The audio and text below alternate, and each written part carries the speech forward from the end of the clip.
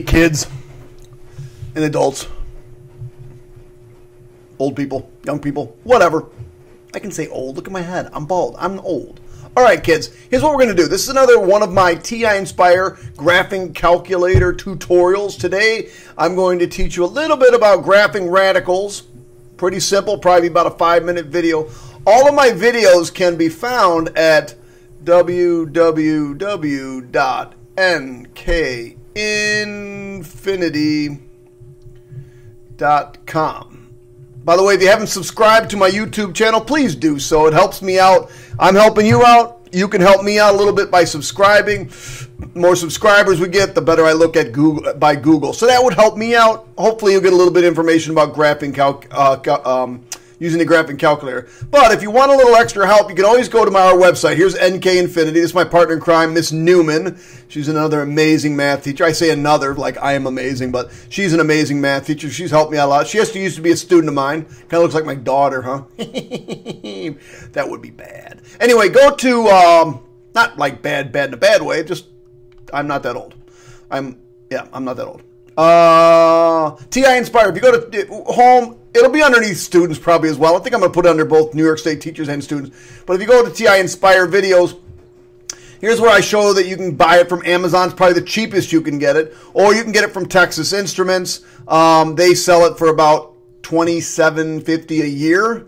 You get like the uh, what you'll get is I'm sorry, I should already have it up. An emulator that looks like where is it? There it is, like this and it'll come on your computer. So you have to actually have uh, a laptop or some kind of a computer. It doesn't work on a Chromebook, I don't believe.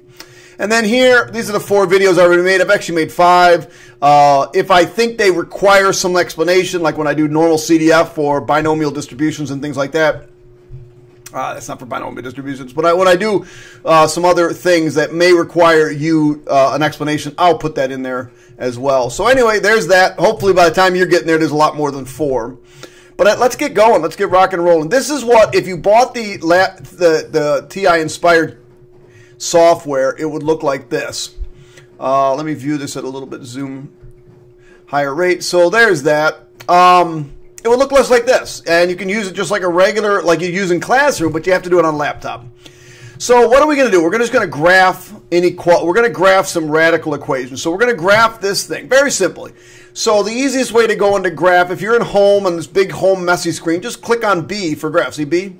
You just click on B. See where I'm at right here? B. Click on B. Let's put you in the scratch pad. Anything done in the scratch pad you can throw away pretty easily. Um, at some other point, I'll have some tutorials on how to use documents, how to save documents, how to send documents. That all is going to be underneath the teacher stuff because you as kids probably don't care about that. I want to graph this function, so I'll just do 3.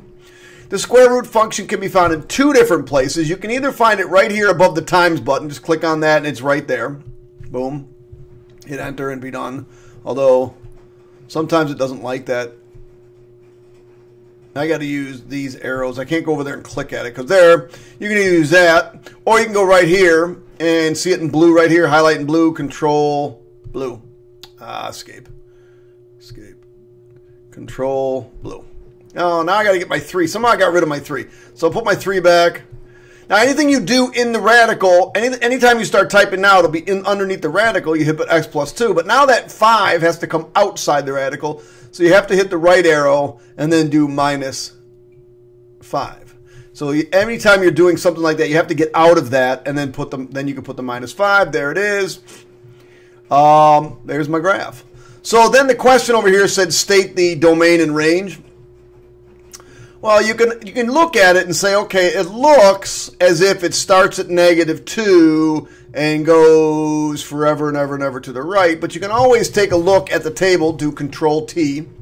Control T is a toggle, right? You just hit Control T, it'll go away. And if I hit the up arrow here, and I just go up, see at negative two, I'm okay, but at negative three, I get an error. I get an error.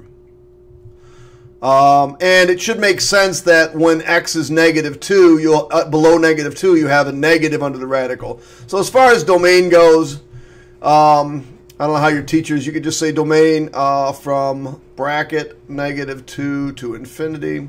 It's probably easiest. And range, uh, so this is the lowest point, and that's at negative 2. And you'll notice if I come over here and go to the y values, they just keep getting bigger and bigger and bigger and bigger and bigger and bigger and bigger and bigger bigger. So the lowest value was was it negative five? When you plugged in a negative two, that gave you a minimum value of negative five. So my lowest value will be from negative five to positive infinity. All right, that one wasn't too bad. By the way, you could be asked about transformations uh, because of the uh, plus two, it moved to the left two, and because of the minus five, it went down five, and because of the three, that's a dilation. Uh, get rid of the, the get rid of the uh, thing. We just hit Control T. I think by that. And let's say I just want to clean my scratch off. Doc B is the easiest way. Doc B is just get rid of the scratch pad. Then I just come over here. This is the scratch pad button. I just click on that. I'm going back in the scratch pad. And now I got another one to graph. So I'll bring that up for you. It's going to be 2. Now notice I've got a minus x here. Maybe you need maybe you know what that means, maybe you don't know what that means. But let's see what we got. So we're going to do 2 control frac that that negative x minus 3. And then outside the radical plus 2. Now notice it's going in the opposite direction. It's it now it moved to the left, even though I had a minus there, but because that's because of this negative here. Normally what would happen is, if I can graph over here, normally what would happen here is it would move to the right three and up two. So one, two, three, and up two. Boom. And it would look like that. But because of this negative right here, that's a reflection in the y-axis. So it got reflected over the y the y-axis. So now it starts at negative 3 and goes in forever and ever in that direction. So now if you're talking about domain, uh, let me do this. I'll do it over here for you so you can see it. Uh, the domain, domain would be, well, its biggest point is actually right here at negative 3, and it's going forever and ever in that direction. So that means I got to start at negative infinity and go up to negative 3 bracket. And range, well, range, the highest value is still the same here, or the lowest value is still 2, and it goes forever and ever up. So the range is from negative 2 to positive infinity. Is that it? Just two problems? Probably just two problems. That's enough. There you get an idea how to how to uh, use the graphing calculator. One last thing, man. Maybe I should show you this. Let's go back to this original one. I'm going to type this one back in. I want to show you something. So we doc B this sucker. Go back in the scratch pad. 3 square root of x plus 2, get out, minus 5. What if I put a negative out front? Well, this is what it looks like now, right? That's actually, you know what I'm going to do? I'm going to hit tab and I'm going to get rid of this minus 5. So let's just see what it looks like. So there's what it looks like right there. Okay? What happens if I take this thing and put a negative out front? Anybody know?